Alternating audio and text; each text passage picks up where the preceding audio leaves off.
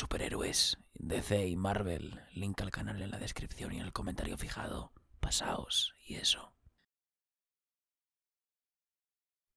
Esto no va a ser un análisis acerca del Snyder Cut, ni siquiera una crítica. Si buscas a un tipo que alabe todas sus virtudes o a uno que señale todas sus cagadas, este no es tu lugar. Esto es una reflexión sobre Snyder, sobre la audiencia y sobre mí. Quizá en unos meses haga un análisis del cine de Snyder o de esta película mismamente, pero hoy hoy no será ese día. Estoy estoy quemado de toda esta polémica. Quizá cuando esta película no esté en boca de todos, divinizada o demonizada, hablaré de ella. Lo único que quiero aportar es mi perspectiva más sincera. Y eso es lo que haré. Creo que muchas veces nos dejamos cegar por el elitismo inherente al academicismo artístico. Buscamos la disciplina en el producto, el virtuosismo técnico en el efectismo. Estos meses han hecho que me dé cuenta de cuán equivocado estaba. Me han arrojado a una realidad que durante mucho tiempo no estuve dispuesto a enfrentar. Me han impactado con su honestidad y me han hecho reflexionar acerca del cine, como arte y como producto. Y a pesar de mis mordaces intentos por despreciar el entretenimiento, he podido llegar a asumir la realidad. Y es que la imparcialidad que antes creía inmutable está sujeta a una percepción del arte cinematográfico que al menos en mí dibuja un interruptor con una sola función. Y eso no es así. Me lo han demostrado las películas que he examinado en los últimos meses y sobre todo me lo ha demostrado Zack Snyder. Lo fácil sería destruir esta película, decir que es una mierda y que Snyder sigue siendo un patán, amante de los videoclips y los anuncios de Colonia. Pero lo cierto es que a pesar de todos sus errores, tiene cosas buenas. Y cuando Snyder hace algo bien, hay que decirlo. Sobre todo contando con que lo que ha hecho ha sido valeroso y un trabajo de perseverancia titánico. La Liga de la Justicia de Zack Snyder es hija de su contexto. No podemos ignorar que nuestra posición puede venir derivada por sus antecedentes, por la película de Whedon y por el movimiento que apoya Snyder. Como película tiene errores graves y aberrantes de ritmo, no por sus casi cuatro horas, sino por una absurda cantidad de tiempo que Snyder emplea para presentar a Flash y Cyborg, cuyos personajes además de estar faltos de empaque deberían haber tenido su propia película. Pero las prisas de Warner por hacer competencia a Marvel fueron tales que al final acabaron por autodestruirse. Soy incapaz de culpar a Snyder. Man of Steel y Batman vs. Superman no son la gran cosa, y toda su filmografía, salvo El Amanecer de los Muertos, tiene carencias narrativas, tanto por la historia que decide conducir como por sus incapaces técnicas para narrar visualmente. Pero lo cierto es que el Snyder Cut nos muestra que Snyder no ha renegado de este estilo, que no quiere contenido, que quiere continente. Y eso, a pesar de sus sobradas, lo ha convertido en un autor. Esta película es la mayor prueba de que Zack Snyder ha asumido quién es, y no va a cambiar. No porque no pueda, no porque sea incapaz, sino porque es su estilo, le gusta a él y a sus seguidores.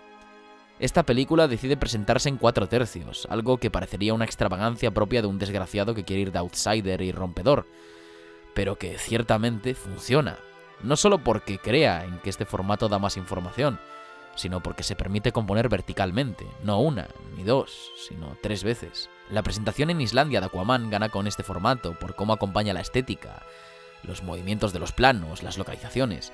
La fotografía casi muerta y desaturada de la película también le da ese toque a muchas escenas, un ambiente depresivo y desdichado tras la muerte de Superman.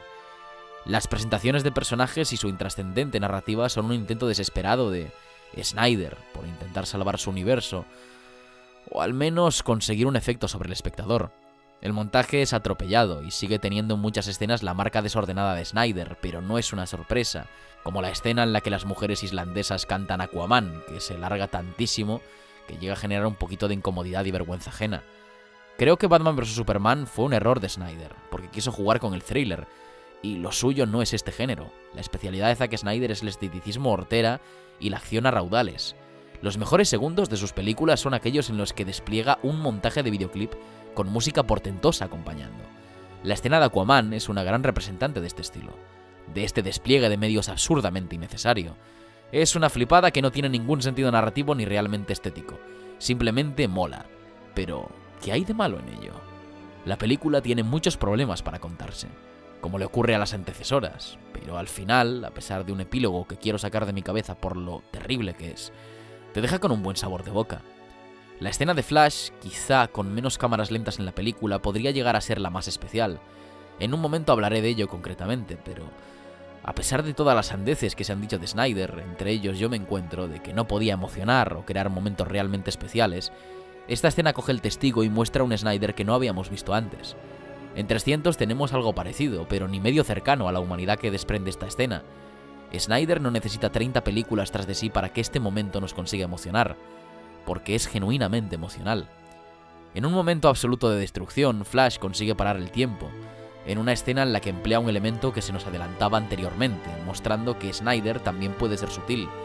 La alteración de la acción, la explosión que parece simbolizar un corazón latiendo en la distancia, apagándose, mientras Flash camina por un suelo que se reconstruye mediante sus pasos, una música esperanzadora pero también visiblemente preocupante, unas palabras que parecen ser un homenaje de Zack Snyder hacia su hija, un monólogo de Flash mientras deja todo atrás, mientras intenta volver al pasado para arreglar las cosas es Zack Snyder comunicándose directamente con el espectador, preguntándose o anhelando si pudiera volver al pasado para decirle a su hija que todo podría ser diferente.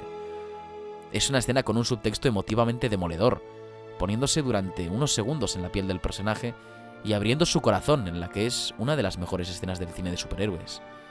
Por su calidad en cuanto a montaje, efectos especiales, ritmo y profundidad narrativa. Es una joya que corona el final de una película que parecía ser una extensión de la Liga de la Justicia de Josh Whedon, pero que acaba de mostrarnos que al contrario que la amalgama de estilos que era aquella película, esta sí que tiene identidad y estilo único. Es cierto que el abuso de cámaras lentas en la película puede llegar a ser cansino y generar hartazgo en el espectador, y es por ello que le quita la condición especial a Flash en esa última gran escena. ¿Deberían ser las cámaras lentas un recurso excepcional? Es cierto también que muchas películas son un recurso empleado en un momento puntual, y es por ello que hay algunos planos que se convierten en especiales, porque precisamente son únicos. Snyder quiere cámaras lentas constantemente. ¿Por qué? Porque quiere que todo sea especial, que todo sea espectacular. Quiere que el continente predomine sobre el contenido. ¿No es entonces contraproducente que quiera hacer todas las escenas espectaculares? Si todas las escenas son especiales, al final ninguna lo es, ¿no? Charlando acerca del Snyder Cut, el magnífico y siempre acertado Quetzal, me dijo que Snyder era un gran representante del wagnerianismo. Todo lo quería grande, increíble y espectacular. Puede que sea cansino, puede que siempre haga todo especial, pero esa es la identidad de su cine.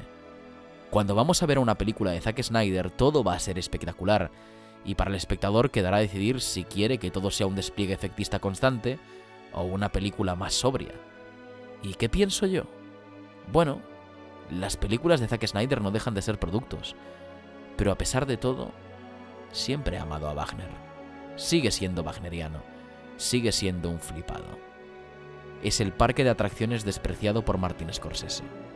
Esta película no es la gran cosa, de hecho es mediocre.